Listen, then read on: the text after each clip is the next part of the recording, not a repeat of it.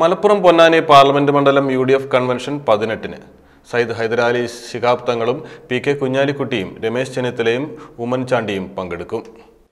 Parliament തെരഞ്ഞെടുപ്പിന്റെ മുന്നൊരുക്കവും കേന്ദ്ര സംസ്ഥാന ഗവൺമെന്റുകളുടെ ജനദ്രോഹ നിലപാടുകൾക്കെതിരെയുമുള്ള പ്രക്ഷോഭ പരിപാടികളും ചർച്ച ചെയ്യുന്നതിനു വേണ്ടി മലപ്പുറം പൊന്നാനി പാർലമെന്റ് മണ്ഡലം തല കൺവെൻഷനുകൾ പതിനെട്ടിന് ചൊവ്വാഴ്ച നടക്കും. മലപ്പുറം പാർലമെന്റ് മണ്ഡലം കൺവെൻഷൻ കാലത്ത് പത്ത് മണിക്ക് മലപ്പുറം കുന്നുമ്മൽ വാര്യംകുന്നത്ത് ടൗൺ ഹാളിലും പൊന്നാനി പാർലമെന്റ് മണ്ഡലം കൺവെൻഷൻ ഉച്ചയ്ക്ക് ശേഷം രണ്ടു മണിക്ക് തിരൂർ വാഗൺ ഹാളിലുമാണ് നടക്കുക.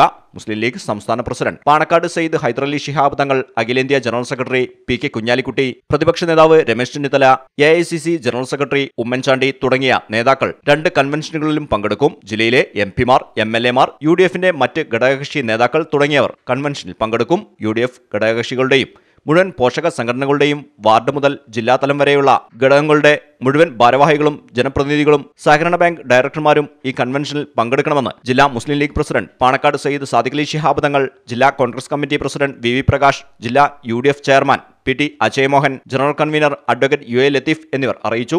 News bureau Malappuram.